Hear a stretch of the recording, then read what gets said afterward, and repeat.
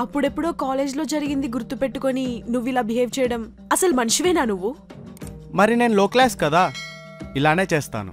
Hello లో class please Yashwant అలా మాట్లాడకు. నాకు ఈ జాబ్ చాలా ఇంపార్టెంట్ చూడు సంగీత ఒకడు చిన్న జాబ్ చేస్తున్నాడని వాడిని ఎప్పుడు చిన్న చూపు చూడకూడదు. అది నీ మూర్ఖత్వం. ఇప్పటికైనా మారు. లైఫ్ ఎప్పుడు ఒకేలా ఉండదు. సంగీత? కింద హెచ్ఆర్ ఉంటాడు. అతనికి నీ డీటెయిల్స్ ఇచ్చి వెళ్ళు. దేనికి? వన్ వీక్లో జాయిన్ అవ్వాలి కదా. నీ ఐడి కార్డ్ ప్రిపేర్ చేయాలి. అంటే నేను సెలెక్ట్ అయ్యానా? నేను లో క్లాస్ నుంచి వచ్చిన వాడిని కాబట్టి నాకు కష్టం విలువ తెలుసు.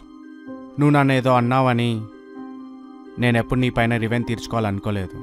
అది మానవత్వం అనిపించుకోదు.